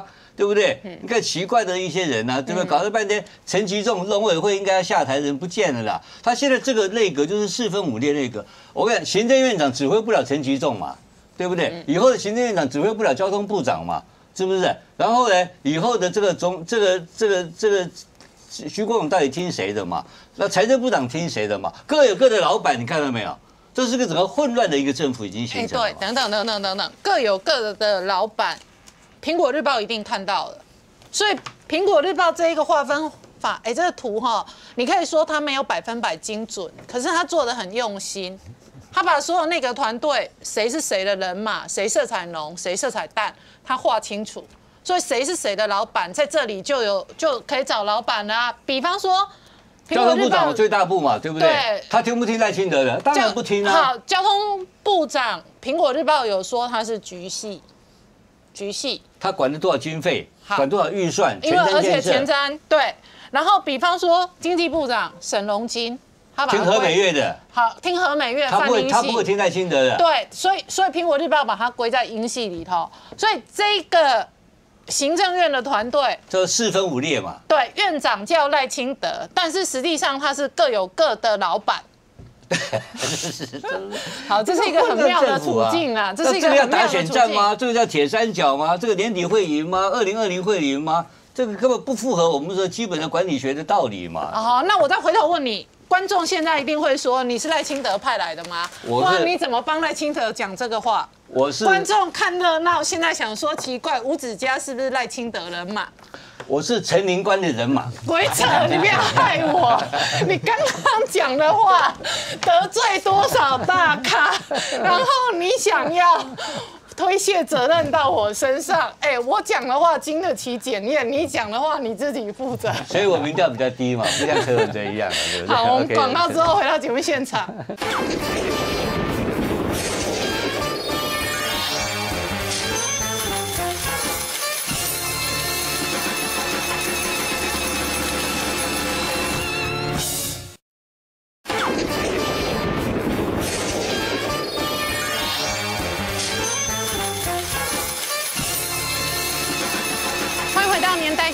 的节目现场。我们今天聊的是内阁团队，昨天行政院哦改组了。那这一个同一时间，信传媒跟美岛电子报追踪最新的台北市的民调，现在看起来哦，民进党在台北市的选战确实是辛苦。那这个战斗团队真的对选战有影响吗？那这个昆城议员怎么观察？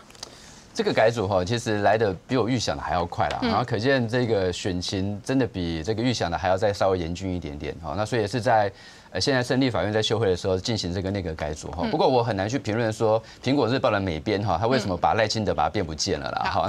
基本上赖清德哈，这个蔡英文、赖清德还有这个陈菊花嘛哈，三个人现在是命运共同体啦。嗯好，就是说。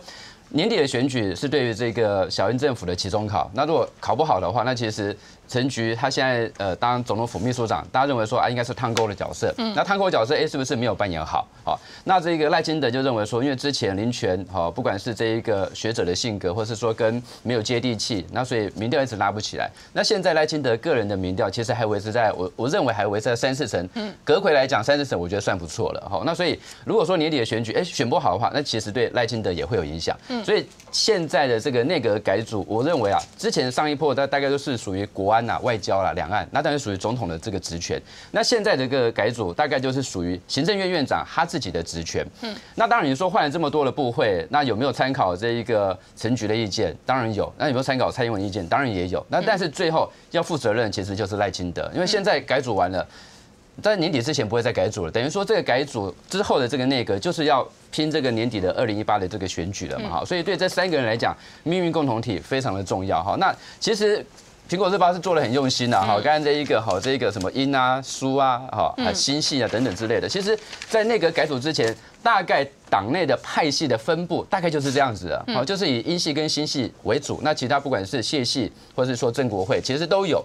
哦，那只是 会以这个音系跟新系为主了，所以其实他做的这么用心，只是反呃反映出这个过去民进党执政这两年来这个大概内部的部会内阁部会首长大概就是这样的这个分布来讲了哈。那其实对我们来讲，那个现在的改组，第一个选情真的比较严峻一点点，你要透过这个改组让大家觉得说部会首长必须要去接地气，因为蔡蔡英文政府认为说我做了那么多事情啊，好，那政绩应该也有，那为什么每次一个好的政绩出来的时候，哎？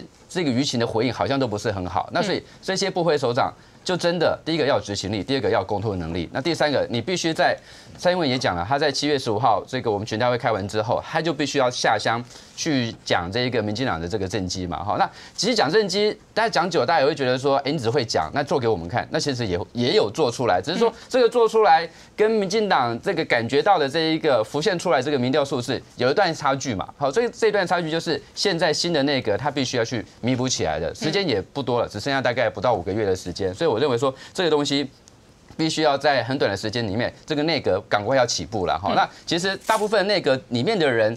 呃，也都是在部会的首长里面啊，原来的内阁里面呢，只是换了不同的位置而已哈。那其实呃，现在就是看他们的论述能力啊，还是跟这一个呃各个县市首长的配合程度怎么样？因为选举还是必须要以县市首长的需求为主。那可能之前的这一个部会首长，我不晓得是不是跟这些我们县市首长哦，在这一个骂街的程度还不够哦。那给的资源给的漂不漂亮？我觉得这都是未来内阁必须要去做的啦。哈，那其实我也蛮担心。这个林佳龙讲的啊，这个会不会从这一个对，呃，中百哦啊，变成骨牌，哎，变骨牌，那你有感受到双北的压力吗？双北的确会有压力，好，那可是因为双北现在都不是民进党执政哦，哦，台北是柯文哲嘛，然后这个新北是朱立伦，所以他的看他的双北落输的定义是怎么样？好，那如果说呃新北输掉了，哦，这大概就是让侯友谊拿走，那要看苏贞昌拿多少票，苏贞昌如果是输到十万一票，嗯。那的确是大输，好，那对于民进党这个二零二零的选举，的确就很大的伤害了。但是如果说苏贞昌只输到五万票以内，大概输到两趴左右，哦，那我认为这个不算输哦，好，我觉得这个这个不算输，而且要看我们议员的席次怎么样。如果他在五趴以内，对，然后而且议员席次都有维持住的话，那我觉得这算赢。好，那如果这样子的话，苏贞昌会不会说他要选党主席？这刚才我刚才私底下我跟 跟副董事长有讨论过，就是说如果对，还要看全全台湾的，看全台湾的情况。如果他虽败犹荣，然后发现说这个选战这样子的话，要有人负责。那可是如果说如果台北老实讲，如果台北是丁守中拿，或是这个柯文哲拿，嗯，因为民进党本来就不是在那边执政嘛，对，输的话就是说，比如说我们调了一个直辖市，或是又调了一个彰化县，嗯，我觉得输了这个新北之外，输了这两个。那就是必须要党主席，必须要然后就去负责，啊，必须要去负责，那才会有说这个是不是接下来由谁要来接这个党主席的这一个这个这个讨论啊？所以林佳龙在预告的是民党内茶壶里的风暴，就说这一次那个改组已经有风暴，但是真正的风暴可能发生在十一月二十四号晚上开完票，选完之后，那如果说是好科批赢了，那我们其他县市也掉了，有有掉。那那就危险了，那表示说科批我们当初认为说这个科批的这个这个效益溢到这个外县市去了，让成这个其他外县市也输了，那再可能再加上我们这一个执政的这个环境成绩也不好，那民这个民进党就必须要小心，那时候才会有讨论说，那是不是有所谓的呃党主席好要下台负责的这个声音呢？那如果说双北输了，但是彰化保住了，那其他的的直辖市没有一个掉，我认为没有讨论说这个党主席应该要下台的这个声音啦。好，所以变成说双北输了没关系，其他的直辖市如果保住都还 OK。也不是说说双北输了没关系，就是说输多输少，输多输少这是一个。那还有柯批哈。丁守中、姚文智这三个人的选票的分分布是怎么样？那如果说柯批赢了，然后姚文智第三，那当然也会这个也会引起讨论。好，那如果说是丁守中赢了，那柯文哲输了，那又是另外一种情况。好，那所以说这个排列组合很多种啊，没有办法说现在就是说，哎年底就像这个李佳龙讲的，哎一定会变成这个从中百会变成股牌。嗯，哎到现在为止，我觉得还不一定。好，阿仔怎么看？没有，我觉得民党现在的状况啊，是你看到脸上。微微的肿起来，但你不知道是一个蛀疮还是一个青春痘。我们刚刚看到的，可能是个肿瘤。哎，我跟你讲，所以麻烦麻烦在这里。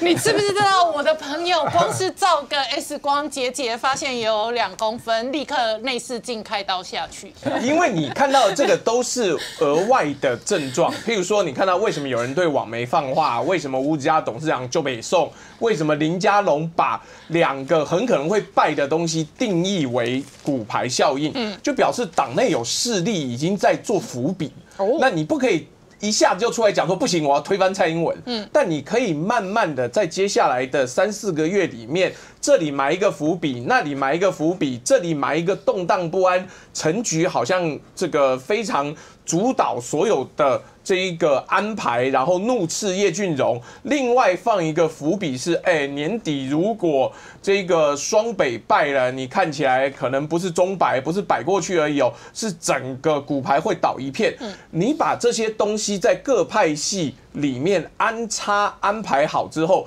等到十一月投完票，那就是百病齐发，一起爆的时候。现在你看到的都是表面现象，表面现象你没有办法判断这个到底呃病况有多深，病灶有没有移转。但如果接下来你再看到，譬如说，诶，他又。这个跟那位还蛮擅长研究台语歌手的这个网站啊，在放消息说你今天又怎么样又怎么样，表示那一派继续在推。嗯，那你如果看到吴子嘉董事长又觉得更不满啊，他今天又搞了更多人，表示这有另外一边的势力。然后你又看到林佳龙又在铺陈，我们直接讲嘛，林佳龙如果会出来讲，他一定不是为自己，他是为郑国会啊。那郑国会的派系在埋这样子的梗的时候。你说郑国会是不是对党主席也有想法？嗯，那如果是这样的话，对民党而言，真正的问题，大选只是啊，我们到那一天，我终于要把这个包挤出来啦，我终于要划一刀下去了。嗯，但这整个英局赖的铁三角，你一划下去。